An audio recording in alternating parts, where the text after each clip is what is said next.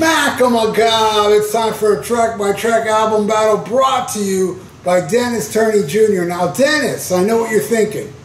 Oh man, you're doing this Screaming for Vengeance versus Don't Break the Oath. That was kind of like, uh, uh, if this didn't work, I would ask for this. Listen, my friend, I'm to do this one and what was it again? I wrote it down here. Diary of a Madman versus Number of the Beast will be on next Black Sabbath Sunday.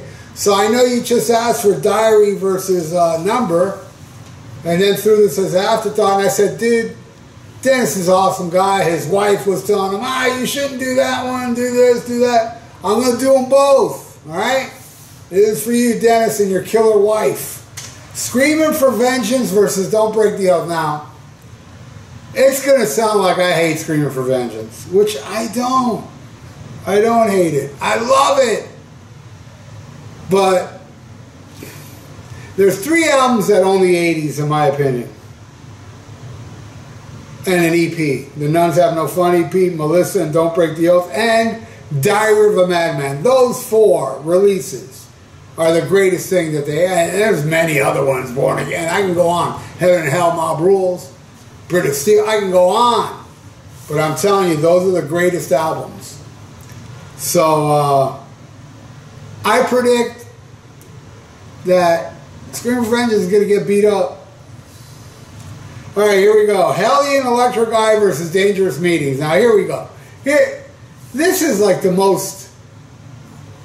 Oh my God, so difficult because the greatest intro to any album is the Hellion Electric Eye, in my opinion. That is the greatest intro ever.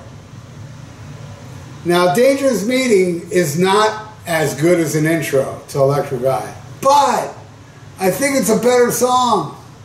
I'm giving it to Dangerous Meeting, and it hurts, but I am. All right, next, Riding on the Wind versus Nightmare. Now, this one, I went a little back and forth, but I go, now you know what, man? I'm giving this one to the Priest. Riding on the Wind. All right, Bloodstone versus Desecration of Souls. Man, this is just torture. Torture. And uh, I'm going to have to go, and it hurts, man. How much longer will it take for the world to see? Loses. I'm giving it to Stay Away, White Magician, Young Lovers, and Morning Wives. You're not welcome. God, man, man forget it. Mercyful Fate what Kim Rose did no wrong. All right. Yeah, and I love Bloodstone. All right, next. Take These Chains versus Night of the Unborn. I'm going with Priest.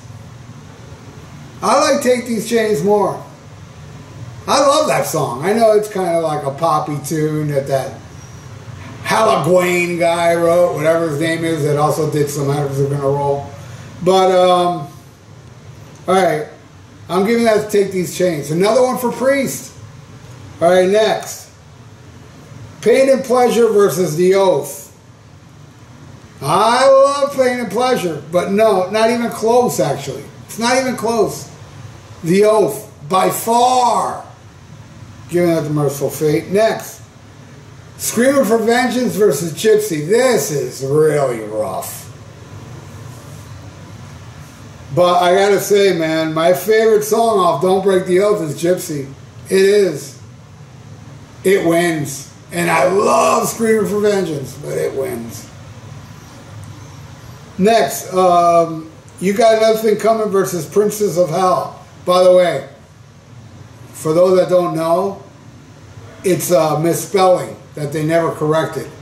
It was supposed to be Welcome Prince prince, like more than one prince, like princes of hell. And they wrote princess of hell, and they they never corrected it. Uh, I don't like you got another thing coming. Never liked it. And even when it was a brand new song, uh, I was like, man, Scream for Vengeance rules, but I don't like you got another thing coming. And I thought that way before it became a hit. Because I got Scream for Vengeance really early on. Um, Welcome Princes of Hell. Princes of Hell. That wins. All right, next. The most underrated track on this album, Fever. Love that song. Versus to One Far Away. Gorgeous, gorgeous instrumental with King doing the little harmony thing. Beautiful song. I love it. Uh, if it was going against You Got Another Thing Coming, it would win. But no, it's going against Fever. And Fever is pretty damn good, so I'm going to give it to Fever. All right, last song. Devil's Child versus Come to the Sabbath. I'm going to have to go with uh, Come to the Sabbath. I love Devil's Child, but Come to the Sabbath, man. Melissa Part 2. Love it.